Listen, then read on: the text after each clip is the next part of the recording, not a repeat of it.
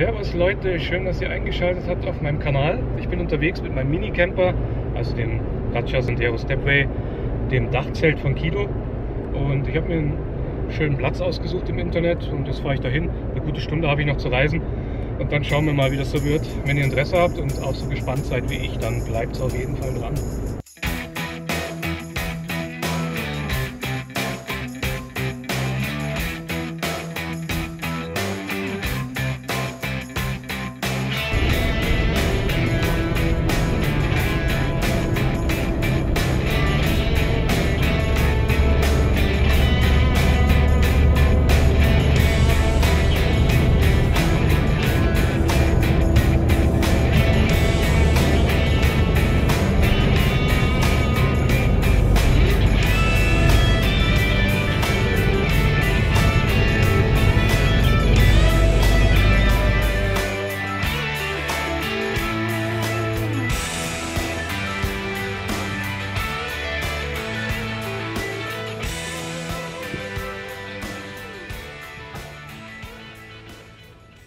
Ich bin jetzt da am wunderschönen Platz. Ist alles da, was man sich wünscht oder was man braucht. Eine Feuerstelle, Holz ist da, ein Waldstück, das schauen wir uns später noch mal ein bisschen an.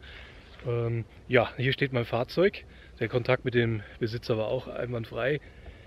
Sehr nett, klasse Sache. Und da steht mein Fahrzeug, man sieht es ein bisschen schief. Also im Video sieht es jetzt, sehe ich gerade, sieht ein bisschen krasser aus als in der Natur. Ähm, ja, aber es ist natürlich wie bei jedem anderen Zelt. Auch hier muss man ein bisschen eine gerade Fläche. Beim Van ist es ja auch so. Man möchte ja nicht in einem sinkenden Schiff sitzen. Jetzt schaue ich mal, da muss ich noch ein bisschen hin und her machen, bis ich dann endlich ein bisschen einen geraden Platz gefunden habe.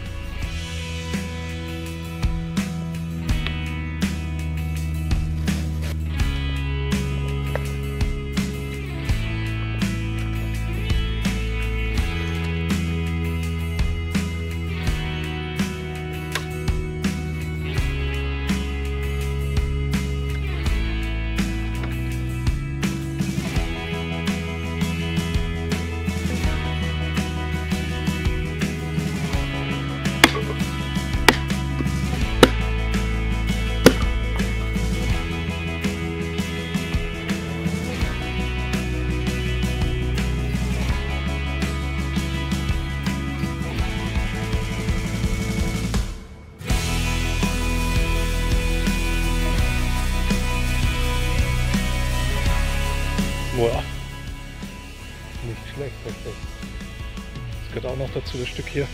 Gar nicht übel. So. Ich mal wieder runter. Ja, komplett neu mit am Start vom Campwerk hier, die Heizdecke. Äh, die werde ich heute mal ausprobieren, weil es ja doch relativ kalt ist schon. Bin ich mal gespannt, wie die sich macht.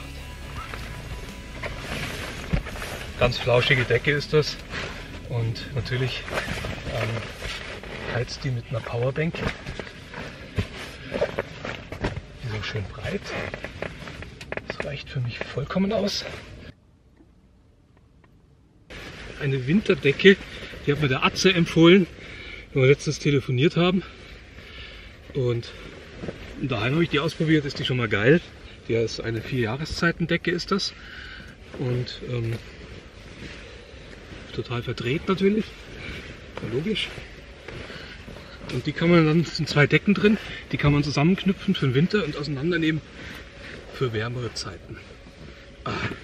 Und ich glaube, dann könnte das relativ kuschelig werden mit der Decke hier. So, das Wichtigste ist erledigt. Der Schlafplatz, der steht soweit. Ah, das Allerwichtigste, ich habe jetzt gerade festgestellt, ähm, dass es ein bisschen grauer wird. Vielleicht regnet es ja irgendwann mal, das ist gar nicht so schlecht. Dann kann ich das Zelt auch gleich mal testen, wie es sich denn bei Nässe schlägt. Ähm, habe ich ja noch nicht gehabt, so Regenwetter oder sowas. Aber wie gesagt, oder man sieht es ja sogar ein bisschen, schon leicht gräulich. Ansonsten freue ich mich einfach auf ein schönes Lagerfeuer. Und jetzt habe ich richtig Durst bekommen.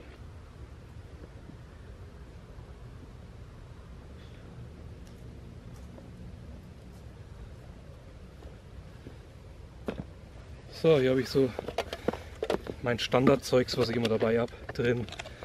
Suppen, nochmal Ravioli. Ah, okay, ich habe heute... Ach, verdammt. Ich habe keinen Abrisshenkel dran. Die billigen sind besser, schau. Scheiße. Ich wollte aber die.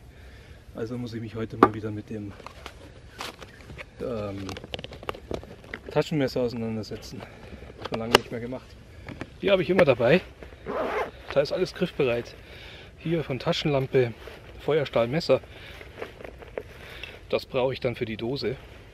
Bin mal gespannt, ob ich das hinkriege. Nach langer Zeit Toilettenpapier. Der ganze Mist, was man so ständig äh, bei sich tragen sollte.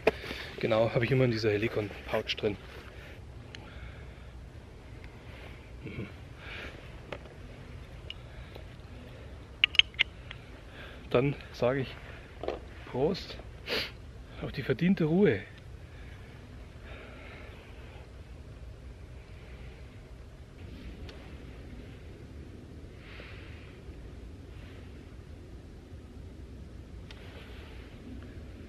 Schaut wirklich ein bisschen nach Regen aus. Bin gespannt. Mal schauen, wie ich das dann manage. Tab habe ich leider noch nicht.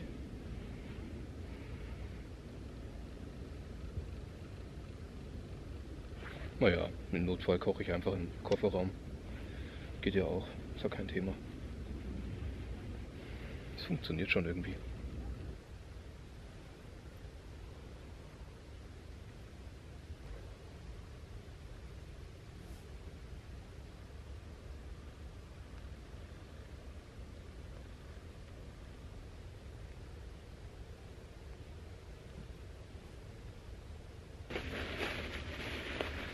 Es doch leicht.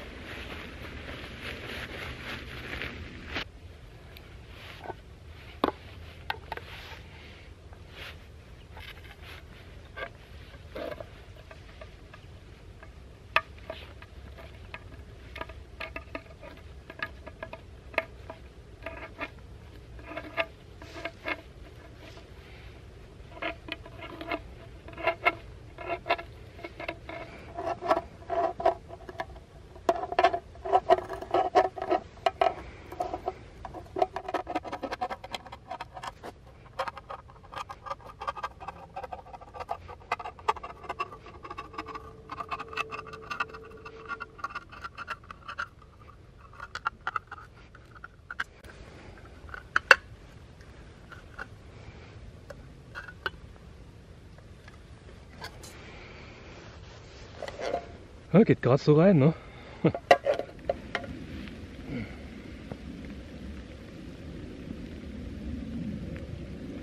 So, jetzt regnet es sich ganz schön ein.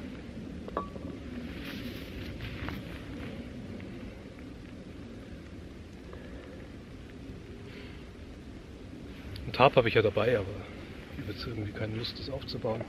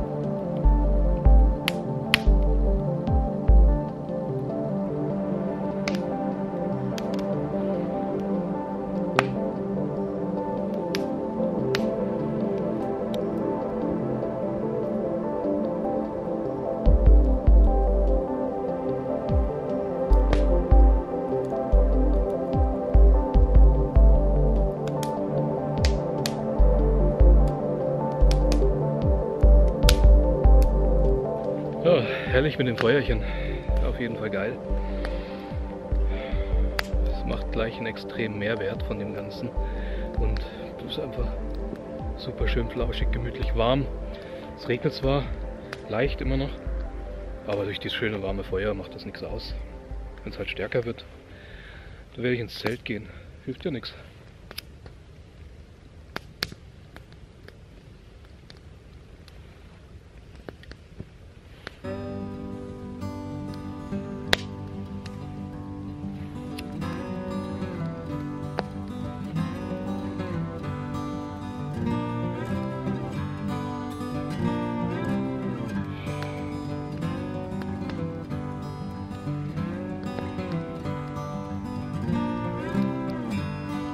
Einfach genial. Voll geil. Also die spontane Entscheidung, heute rauszufahren, bereue ich in keinster Weise. Und bis jetzt hatte ich immer Glück irgendwie mit Plätzen. Immer irgendwie was zum Sitzen, eine Sitzgelegenheit da.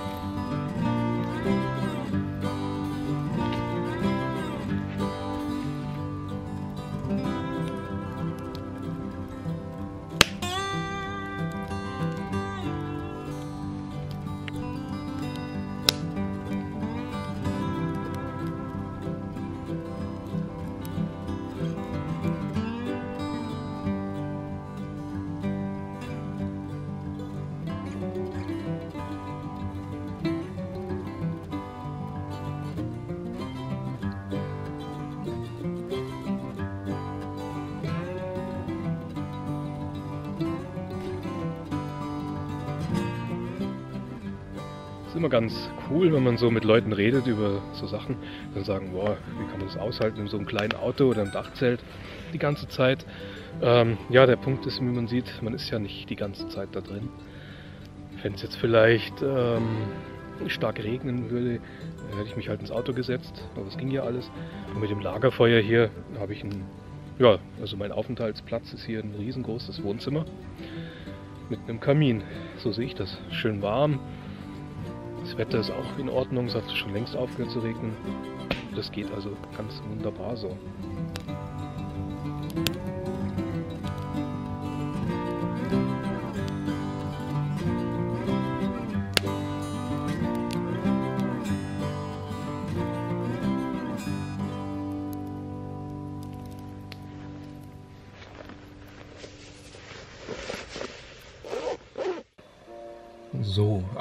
8 Grad bloß, das geht. Ich schaue so ein bisschen Filmchen an. Irgendwie habe ich den immer dabei, aber ich schaffe es einfach nicht, den fertig zu schauen. Aber vielleicht heute. Das ist ganz gemütlich so. Bisschen Sitzheizung noch angemacht. Dann passt die ganze Geschichte. So, jetzt habe ich noch ein bisschen Hunger gekriegt. Jetzt machen wir noch so einen Snack. Weil mit Hunger ins Bett gehen mag ich auch nicht. mal ganz schön sehen, wie das abperlt, das Ganze hier. Ist also wirklich gut imprägniert. Nicht schlecht.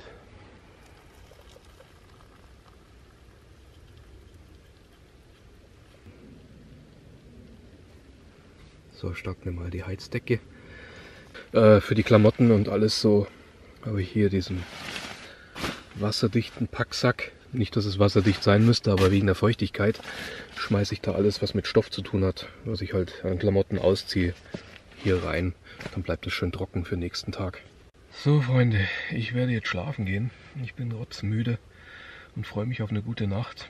Es ist ja nicht so kalt. 6, 7 Grad sowas. Wie spät haben wir es? Uh, aha, perfekt. 10 Uhr. Die optimale Zeit zum Schlafen gehen. Ähm, ja, es wird bestimmt angenehm. Es regnet nicht, ist kein Wind da. Gewitter ist auch keins gekommen. Oh, genau. Und jetzt Feierabend. Naja, wenn sonst nichts mehr ist, dann bis morgen. Gute Nacht.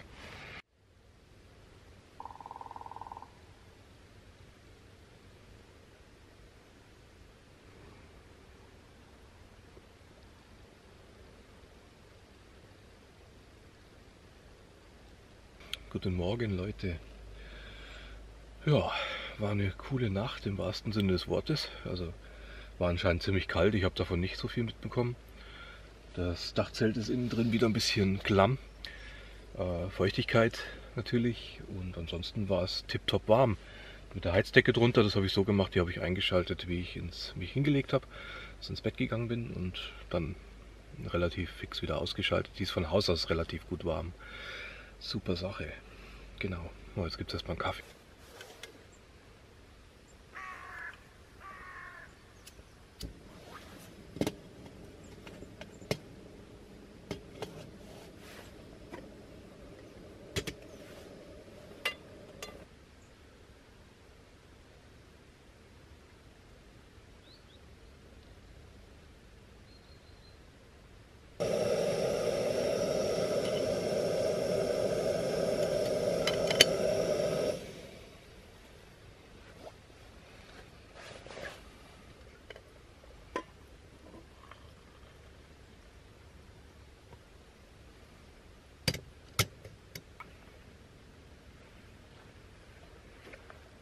Ich glaube, ich glaube, dass ich mir noch einen anderen Gaskocher kaufe, weil jedes Mal das zusammengebaue, das ja, ist halt auch Rumgetue, ne? dass das mal da auf und abgebaut ist. Einen anderen Gaskocher hinstellen, einschalten und das war's. Also überlege ich mir noch, weiß ich noch nicht. Muss ich mal schauen, was es da so gibt.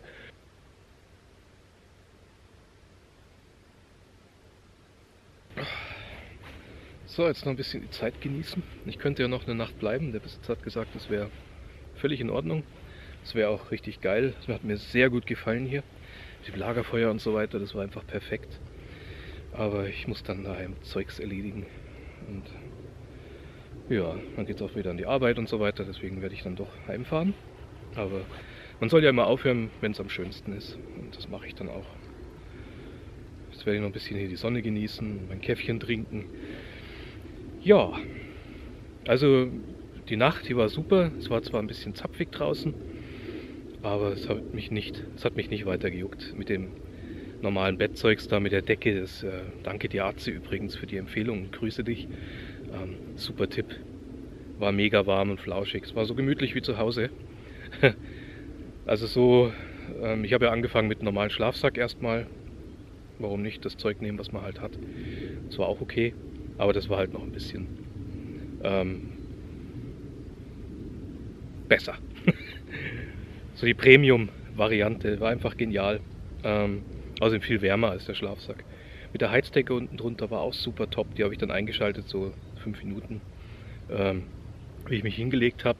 Und dann nochmal in der Früh, glaube ich, um Viertel nach vier, halb fünf sowas. Und das war richtig angenehm, ich muss sagen.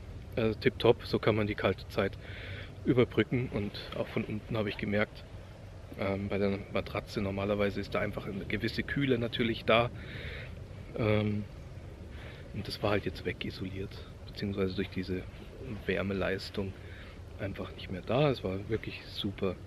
Sonst ist die Decke auch warm genug. Einziger Nachteil fand ich jetzt, die ist ein bisschen gerutscht. Ähm, naja, aber das kann man dann wieder hinziehen, das ist ja kein Thema. War also eine Top-Nacht. Ganz hervorragend. Mir ist sehr gut gefallen. Ich muss schon sagen, in der Sonne, das äh, Zelt trocknet schon verdammt schnell. Jetzt kann ich es dann zusammenbauen.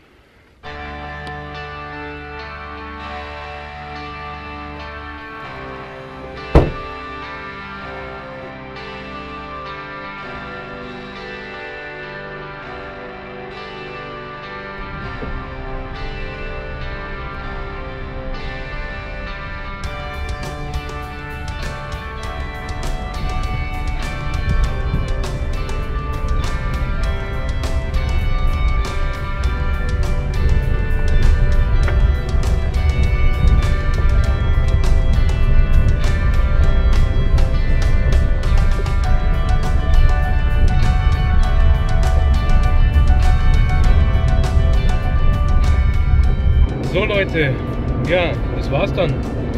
Bin bald wieder zu Hause.